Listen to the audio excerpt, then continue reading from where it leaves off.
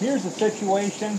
You've got to wonder what's leaking and if there might be a pest problem associated with this much water underneath the building.